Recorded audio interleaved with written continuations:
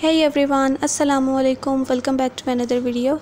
So in this video i'm gonna make a lone girl in a light bulb. So let's get started. So it's a pencil sketch and i'm using different types of pencil. First i draw it using hb pencil and then i'm using 3b pencil to highlight it